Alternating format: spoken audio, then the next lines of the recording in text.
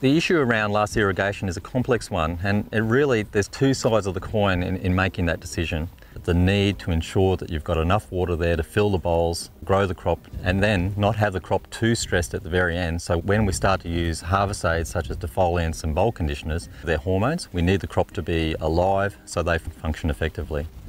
The other side of the coin is we don't want to be wasting water and we don't want our soil conditions so wet that it actually might impede our harvest operation, leading to problems like compaction. And if the conditions start to go warm, we actually encourage regrowth and have problems with our defoliation practice and increasing trash. We have to ask questions around the value of those last few bolls, given that they actually contribute very little to overall yield and quality.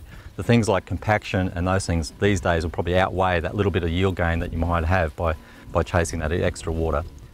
We use a simple principle of nodes above crack boll to guide us in, in making this last irrigation decision. If we were actually out monitoring the crop today and we were at, at nine nodes above crack boll and we were looking to actually defoliate, say at four nodes above crack boll, we know that there are approximately three days to go from one crack boll to the next, so that's 15 days.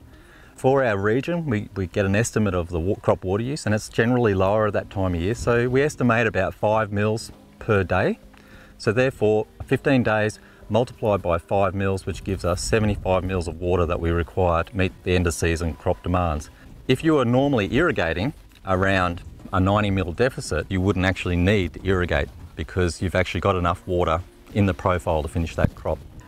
Let's talk about the example where you would need an irrigation. 13 nodes above crack boll. That's 9 multiplied by 3, which is 27 days. And again, if we assume our water use for this that time of year, that equates to about 135 mils of water. If you are working on a 90 mil deficit, you do need to irrigate that crop because you require 135 mils, which exceeds the 90 mil deficit. So the issue of last irrigation really is a, a complex one. And I think one of the take home messages is really to look at all issues, lay them on the table, look at the pros and cons, we in the research community do realise it's a complex decision and you know are working hard to come up with quantitative tools such as plant-based sensing, looking at using forecasts and models to give you better tools to assist with that decision.